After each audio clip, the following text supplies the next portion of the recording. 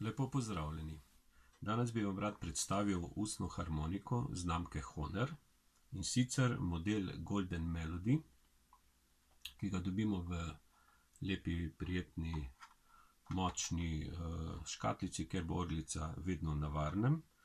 In sicer Golden Melody je orglica nekako vintage izgleda, zelo na okroglo, anatomsko prijetna za glasbenika, za prijetno držo v rokah, prijetna pri igranju, prijetna do ustnic.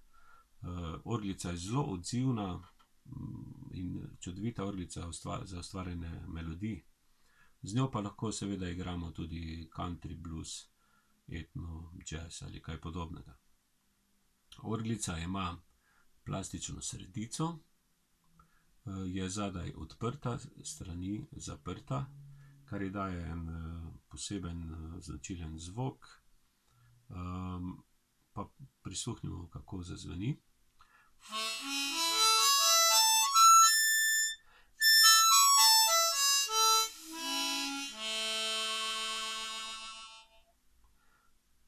Lepo. Lepo.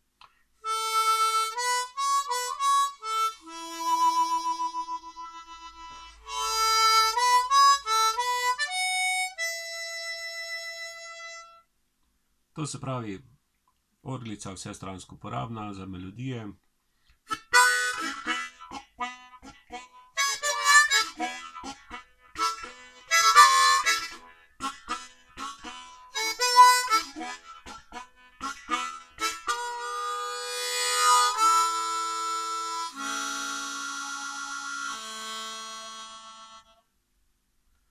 Priporočam Golden Melody, ne pozabite. Krpica, po uporabi počistimo. Dobite jih v Muzikmaxu. Honer, Golden Melody. S tem nakupom ne morete zgrešiti. Čao.